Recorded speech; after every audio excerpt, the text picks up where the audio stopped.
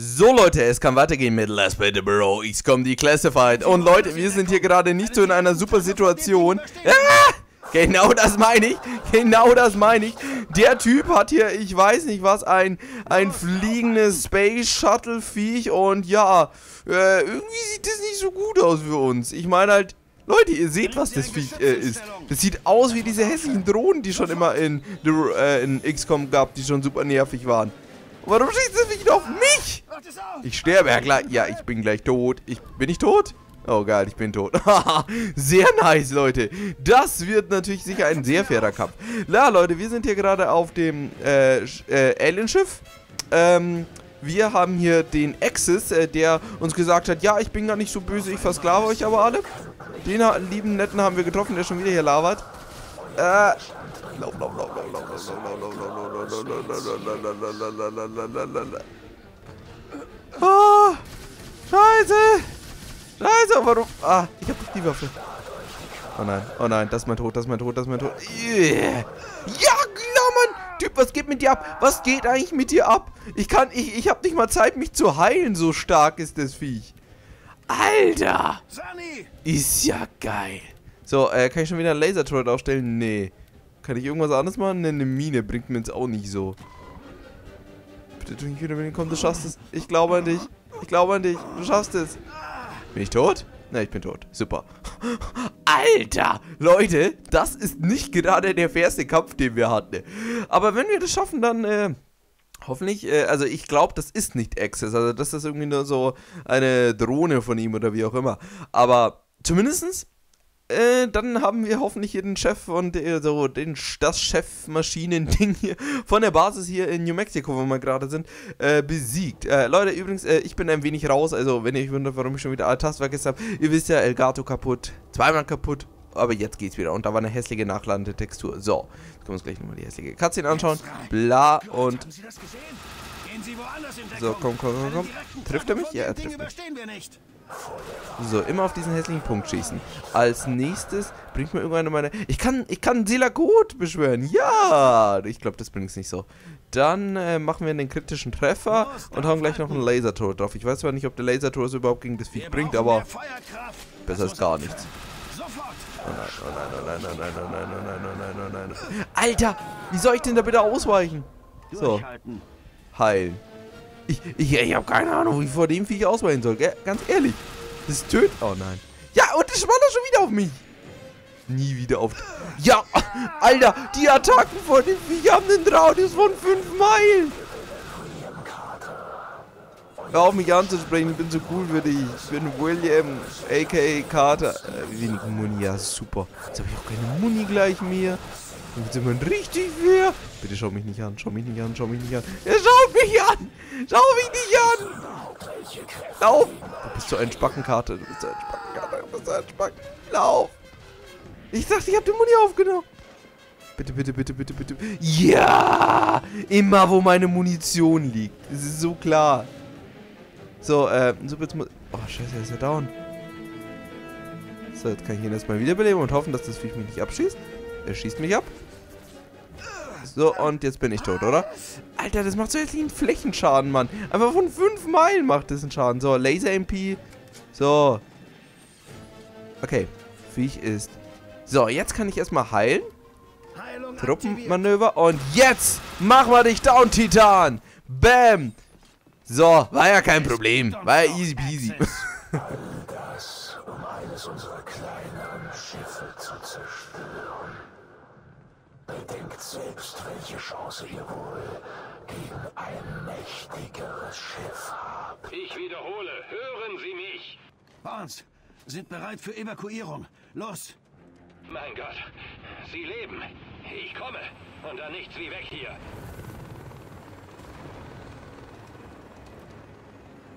Gut gemacht, Carter. Sie und Ihr Team haben es geschafft. Ja, aber was hat es uns gekostet? Die gewinnen, Doc. Aber durch den Transponder, den Sie erbeutet haben, können wir jetzt zurückschlagen. Das hoffe ich auch, Leute, denn das war eine harte Mission. Nachricht aus dem Jenseits. Gesamtheit. Eine Stunde 14 Minuten 19 Sekunden. Die Infiltrierung des gegnerischen äh, Gebäudekomplexes mit den Codebezeichnungen S1 und die Beschaffung des geheimen äh, Gerätes wurden erfolgreich abgeschlossen. Agent Da Silva, der bislang als vermisst und vermutlich gefallen eingestuft war, wurde lebend entdeckt, allerdings infiziert mit dem Hyp Hypnovirus. Da Silva, der inzwischen zur weiteren Behandlung zurückgebracht wurde, verdient eine besondere Belobigung für seine Tapferkeit und seine erfolgreiche Übermittlung Wichtige Informationen zum Gebäudekomplex S1. Vom Hypnovirus befallene Zivilisten wurden beobachtet, wie sie ohne Angst oder Zwang das Gebäude F51 betraten. Im Inneren des äh, F5 S1 meine ich. S1 entdeckte äh, das Team dass die Infizierten in Transportschiffe verladen und mit dem mit unbekannten Ziel fortgeschafft wurden. Direkt vor seiner Abholung griff das Einsatzteam ein gegnerisches Schiff der Titan-Klasse an und zerstörte es mit konventionellen Waffen, das man bisher für schlicht unmöglich gehalten hatte. Ja, wir sind ja Pros. So, Carter hatte 69 Kills, Butcher hatte 12 Kills und der Kammer 17. So, was haben die eigentlich gemacht? Ganz ehrlich. 69 und die anderen haben niemand 20 bekommen. Traurig. Naja, was haben wir bekommen? Wir haben einen Nuklearraketenwerfer bekommen, einen Panzerbrecherpack und ein Taktikerpack. Insgesamt haben wir 36 Sektoiden getötet, 46 Outsider, 2 Raketenscharfschützen, äh, 6 Elite-Outsider, 2 Technologen, Commander, ein Geschützturm, äh, 8 Zilakoiden. Wir hatten jetzt auch einen Zilakoid, äh, 2 Mutons und einen Schild-Commander. Und diese hässliche Titanweg, das zählt natürlich nicht. Na Leute, ich würde sagen, jetzt heißt es erstmal wieder zurück zum Büro. Und mit den erfolgreichen Einsatzdaten hoffentlich können wir jetzt irgendwas erreichen. Hallo, wir haben den Titan besiegt. Einen Titanin. Dieses Viech war ja übelst hart. Aber wir haben es geschafft, weil wir cool sind und weil wir Kater sind.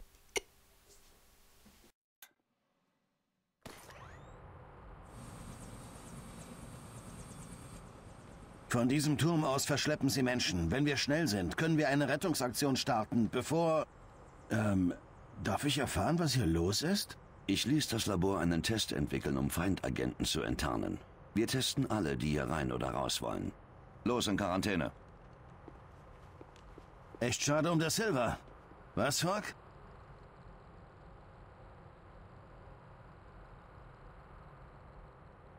Heinrich hat eins von Museks wichtigsten Kommandos isoliert. Ein Mensch hört nur Rauschen. Aber ein Outsider... Sehr viel mehr. Bitte, Doktor.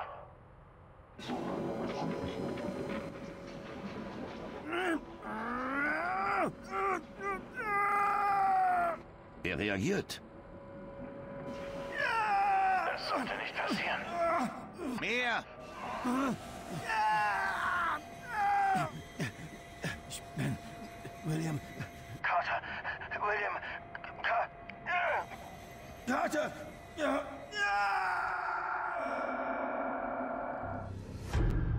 Agent Carter, tut mir leid, dass ich Ihnen das sagen muss, aber Wo ist Julia? deswegen bin ich hier. Als Sie in Indochina waren, da gab es ein Unglück. Was? Blödsinn, was für ein Unglück. Ein Feuer. In Ihrem Haus in Arlington. Julia Richards. Dienstuntauglich. Sie sind betrunken. Schlafen Sie im Haus aus. Jules. Begraben, bevor ich Abschied nehmen konnte. Dies ist Ihr drittes Disziplinarverfahren, Agent. Lasst mich gehen. Schatz erwischt. Ich muss Ihnen helfen. Lasst mich gehen. Lasst mich gehen. Na, aufgewacht? Ja? Hat er sich schon davon überzeugt, dass ich ein Mensch bin? Sie leben, oder? Halbwegs, ja. Das wird schon wieder. Der Direktor hat angeordnet, Sie zu ihm zu schicken, sobald Sie aufwachen. Ich würde ihn nicht warten lassen. Okay, Leute, was war denn das jetzt? Das ist sehr merkwürdig. Ähm, also ich dachte jetzt ehrlich gesagt, wir waren ein Mensch, aber so wie es aussieht... Hm, das ist sehr merkwürdig. Was, Mr. Da Silva? Ist er, ist er das? Hallo? Das ist ja nicht der Silva. Wo ist der Silva? Hä? Ach so, da!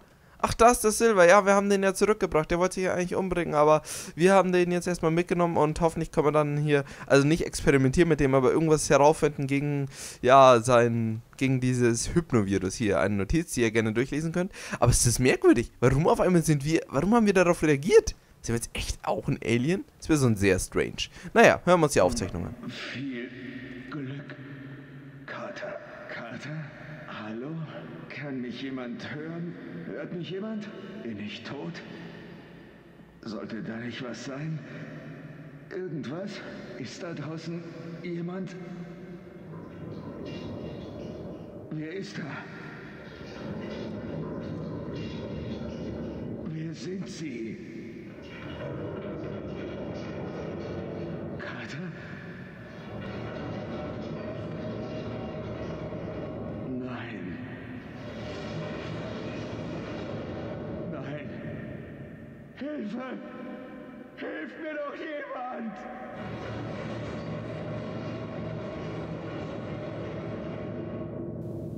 Das hat sich nicht gerade gut angehört. Wann, wann wurde das bitte aufgezeichnet? Jetzt letztens, wo er hier in Quarantäne war oder irgendwie, als er da in seiner Basis gekämpft hat? Verstehe ich jetzt nicht so ganz. Egal. So, da tun ein paar Agenten abheben. Wir sind immer nicht die Einzigen, die hier kämpfen müssen. Und da rauchen natürlich wieder alle. Leute, es ist ja bekannt hier. Jeder Charakter raucht. Das ist, es ist echt so. Man findet keinen einzigen Charakter, der nicht raucht in diesem Spiel. Das ist einfach so. Kann man nichts dagegen machen.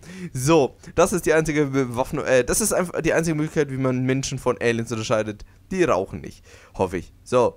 Und was ist jetzt mit dir los? Bist du ein Alien? Oh, kein Kommentar dazu. Ja, ja, ja. Es war schon echt strange. Das erste Mal, es war so ein Ton, äh, eben so, was eben halt nur diese Aliens mit ihrer, mit ihrer Hypno-Bewaffnung da hören. Und ja, alle anderen hören das so, wie es aussieht, nicht. Aber warum hören wir das? Also ich meine halt, man sollte immer davon ausgehen, dass wir kein Alien sind. Ich meine, so viele Aliens, wie wir schon getötet haben, glaube ich, wollen die uns eh nicht haben. Schätze ich jetzt mal. Okay. Äh, Agentenauswahl, super. Ja, wir können uns Agenten anschauen. Super! Yeah! Bringt uns jetzt irgendwie nicht so viel. Naja, egal. So, ähm... Wir können mit dir reden. Äh, dann reden wir mal mit dir. Im Einsatz was Interessantes gesehen? Ach, Sie wissen ja, wie es ist. Wilde Horden von Außerirdischen, tödliche blaue Plasmablitze, laufende Mordmaschinen aus einer anderen Welt. Das Übliche halt. Das klingt wie aus einem Captain Thunderbolt-Comic. Ist nicht schwierig, so zu klingen. Warum ist Fox so paranoid? Sie meinen, noch paranoider als sonst? Er vertraut niemandem außer Weaver. Gott weiß warum. Weaver war immer eine gute Agentin. Jedenfalls besser als Sie. Nur, dass ich mir keine Brüllduelle mit dem Alten liefere. Nicht wahr? Wir sind ja fertig. Ist mir schleierhaft, wie man Sie für einen Außerirdischen halten konnte. Die haben viel mehr Humor. der war gut. ah, der, der, der, hat mir jetzt gefallen. Ja, stimmt aber irgendwie schon. Unser Kader ist nicht immer so der happyste, lustigste. So, egal. Ja, ganz ehrlich, wir können doch niemals ein Alien sein, wenn wir ein Alien sind. Wenn wir ein Alien sind. So viel, also, so viele Aliens, wie wir schon getötet haben. Ganz ehrlich. Das, ist, das, ist, das kann ja einfach nicht sein. Ach, egal, Leute. Wir gehen jetzt erstmal ins Labor. Vielleicht finden wir da irgendwas Schönes irgendwelche Kanister oder so. Sehr hübsch. So, das wieder irgendeine Notiz. Ach, ich glaube, die hatten wir sogar schon. Haben wir diese... Hey, die liegen doch an derselben, äh, am selben Ort wie beim letzten Mal. Naja. Okay, Leute, wir könnten... Ja, wir könnten da runtergehen. Das sollte doch auch der Doktor sein, ähm, mit dem wir hier in die Alien-Basis gefahren sind, irgendwo. Vielleicht... Ah, doch! Ah, da ist sogar jemand, mit dem wir reden können. Ach, dann hat sich ja gelohnt, hier hinzukommen. Da ist sogar noch jemand, mit dem wir reden können. Ach, Leute, ist das super. So, hier, wie gesagt, Bild anhalten und äh, durchlesen könnt ihr euch das gerne. Jede einzelne dieser Notizen werden wir jetzt nicht durchlesen, weil ich glaube, sonst, sonst wird es hier Let's Read äh, the Bro. Und ich glaube, dann sitzen wir nochmal fünf Stunden länger dran. Ich meine, wie viele Notizen wir in diesem Spiel finden. So, reden wir hier mit dir. Na, Doktoris, haben wir ein neues Spielzeug? Ich versichere Ihnen, das Elerium-Coil-Transfergewehr ist kein Spielzeug. Äh, ich wollte sagen, wir testen eine potenzielle Waffe für Mr. Barnes. Haben wir nicht schon Zugriff auf Outsider-Waffen? Gibt es Verbesserungen? Es gibt immer etwas zu verbessern, Carter. Ob man nach einem geschmeidigeren Transfermechanismus sucht oder nach einer besseren Streuung. Und Sie müssen es einfach finden, was? Auf Gedeih und Verderb. Sozusagen. Tja, das wird wohl nur sehr schwer in ein Holster passen. Sehr komisch. Aber erst müssen wir das Grundsätzliche im Griff haben. Dann können wir es kleiner machen. Und es bleibt trotzdem verwendbar? Oh ja. Die Kombination unseres ballistischen Know-hows mit den feindlichen Energiewaffen führt uns zu ganz neuartigen Waffen. Die Kombination von Alien-Technologie und der unseren. Wie der Adventure. Interessant. Wie funktioniert dieses Ungetüm? Ganz simpel. Stellen Sie sich eine Tesla-Spule vor, allerdings ist hier die Spannung auf ein aufgeladenes ballistisches Elerium. Im Klartext? Eine Blitzkanone. Könnte vermutlich sehr hilfreich sein. Brauchen Sie Hilfe bei den Testreihen? Wir hatten gehofft, dass Sie fragen würden. Unser regulärer Assistent scheint wieder mal verschwunden zu sein. Bitte, nicht wörtlich zu verstehen. Nein, nein, natürlich nicht. Das äh, kommt nie vor. Sie wollten sagen? Äh, ja, die Maschine ist in Position. Drücken Sie den Knopf und halten Sie Abstand. Und äh, bitte nicht verschwinden. Mehr muss ich nicht wissen. Ja, Sie sind uns bestimmt eine große Hilfe. Ein Field Agent ist dazu sehr gut geeignet. Ich habe ein sehr schlechtes Gefühl. Ich denke, ich werde jetzt sterben. Äh, okay, wo kann ich den Knopf drücken? Äh, werden wir schon darauf finden, aber äh, davor müssen wir jetzt erstmal einen ganz kleinen Cut machen und im nächsten Part werden wir dann hier den Knopf suchen, wo, wir, wo der Doktor uns wahrscheinlich töten wird. Ich würde es ihm zuschauen, der ist, ein wenig merkwürdig. Und, au, oh, da ist es ja. Und Leute, aber bevor wir das hier betätigen, würde ich sagen, machen wir erstmal einen ganz kleinen Cut und sehen uns dann beim nächsten Mal wieder bei The Bureau XCOM Declassified. Bis dahin, euer Dämzimmer fix. Ciao.